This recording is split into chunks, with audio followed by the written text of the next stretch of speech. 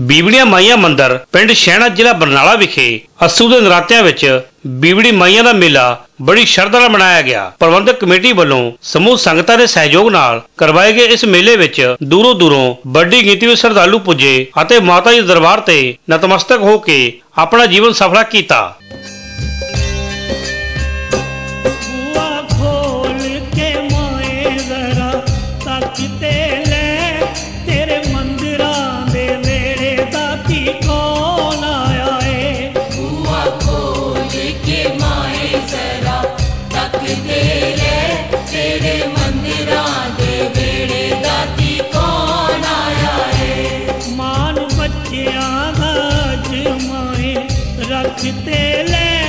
ਲੈ ਤੇਥੋਂ ਮੰਗੀਆਂ ਮੁਰਾਦਾਂ ਪਾਣ ਕੌਣ ਆਇਆ ਏ ਮਾਨ ਬੱਚਿਆਂ ਦਾ ਅੱਜ ਮਾਏ ਰੱਖਦੇ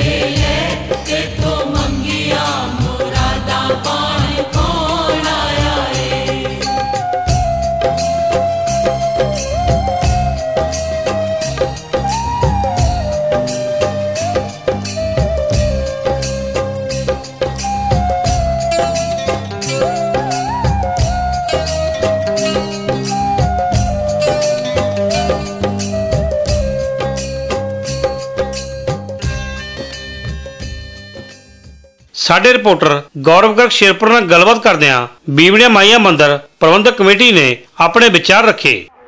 ਬੀਵੜੀਆਂ ਮਾਈਆਂ ਦਾ ਪਿੰਡ ਸ਼ਹਿਣਾ ਦੇ ਵਿੱਚ ਪ੍ਰਾਤਨ ਸਮੇਂ ਤੋਂ ਲੱਗ ਰਿਹਾ ਮੇਲਾ। ਬਹੁਤ ਹੀ ਬੀਬੜੀਆਂ ਮਾਈਆਂ ਦੀ ਕਿਰਪਾ ਦੇ ਨਾਲ ਸੰਪੰਨ ਹੋ ਰਿਹਾ ਹੈ। ਇੱਥੇ ਇਲਾਕੇ ਦੇ ਦੂਰੋਂ ਨੇੜਿਓਂ ਬਹੁਤ ਸਾਰੇ ਯਾਤਰੀ ਆਉਂਦੇ ਆ।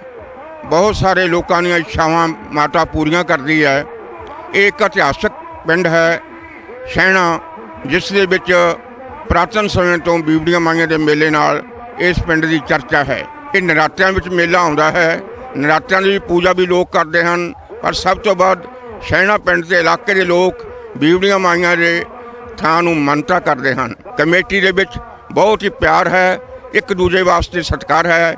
ਇਹ ਸਾਰੀ ਕਿਰਪਾ ਬੀਬੜੀਆਂ ਮਾਈਆਂ ਦੀ ਹੈ।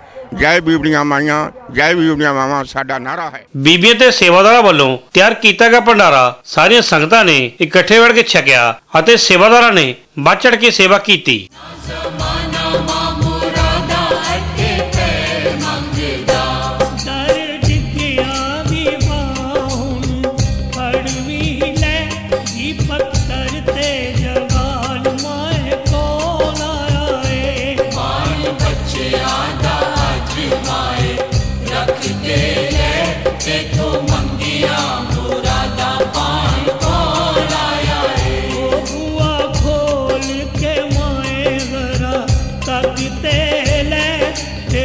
ਤੇਰੇ ਮੰਦਿਰਾਂ ਦੇ ਵੇਲੇ ਦਾਤੀ ਕੌਣ ਆਇਆ ਏ? ਬੂਆ ਖੋਲ ਕੇ ਮਾਏ ਜ਼ਰਾ।